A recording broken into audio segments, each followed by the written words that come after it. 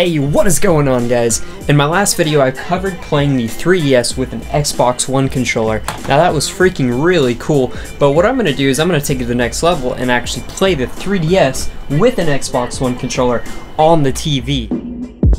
The bottom screen is going to be a little bit delayed, um, that's just because the way NTR is set up. Is the top screen responsive enough to be able to play this game?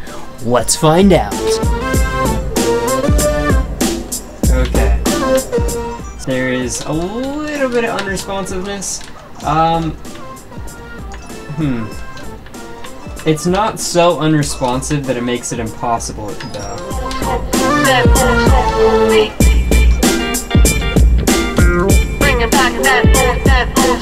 The viewer without NTR is actually fat. It's a little bit faster if you just play with the regular viewer itself. It's actually perfectly fine to be able to play. So here's kind of a one-to-one -one ratio of the game so you can see how much input lag uh, it has and whatnot. It's pretty good. Um, like I said, there's just a little tiny bit of input lag though.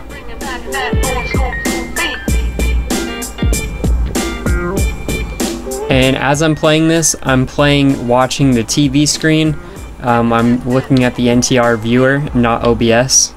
It's a little bit delayed, but it's within that safe zone that it's still satisfying to play.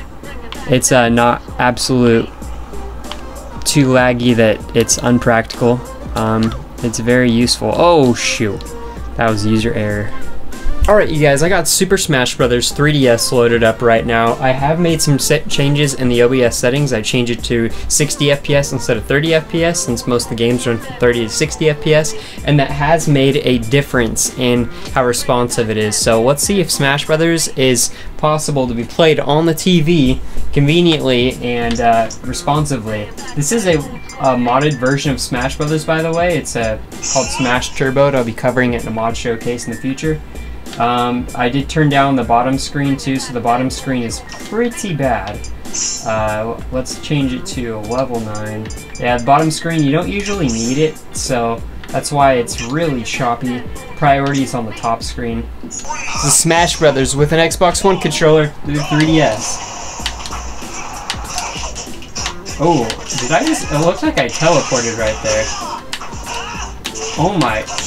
Oh, that's because I'm playing Smash Turbo. That's why. Um, because of the mod I'm playing, uh, Link is apparent. Oh my gosh, Link can execute his attacks so quickly, man. So far, this feels great. Oh my gosh. Yeah, this is just a weird mod, you guys. I forgot about this mod. You can jump four times. Yeah, guys, this feels very, very responsive. I the 60 FPS. Uh, I very much advise you to change your OBS to 60 FPS because it does make the difference.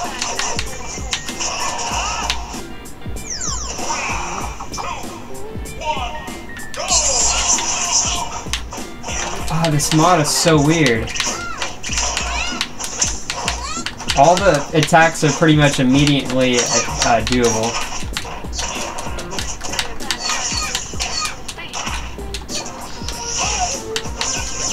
I don't feel any sort of input lag, anything that makes me think twice about what I'm doing.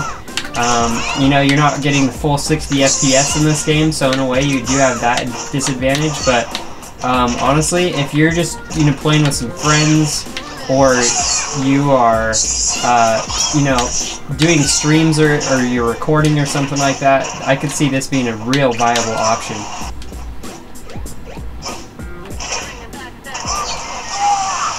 Finally! So with the NTR viewer mod and the NTR redirection mod, you can essentially use your 3DS as a little home console for your TV. Surprisingly, doing the video streaming and the input redirections, there was really no latency between the games, especially in a game like Super Smash Bros. that's kind of intensive on the CPU. It still didn't drop any inputs or any input frames. It worked great on the actual streaming video, so I'm seriously happy with that. Anyways, guys, I hope you enjoyed. Please like it up, subscribe it up, and I will catch all of you guys future videos and live streams. Peace out, crew.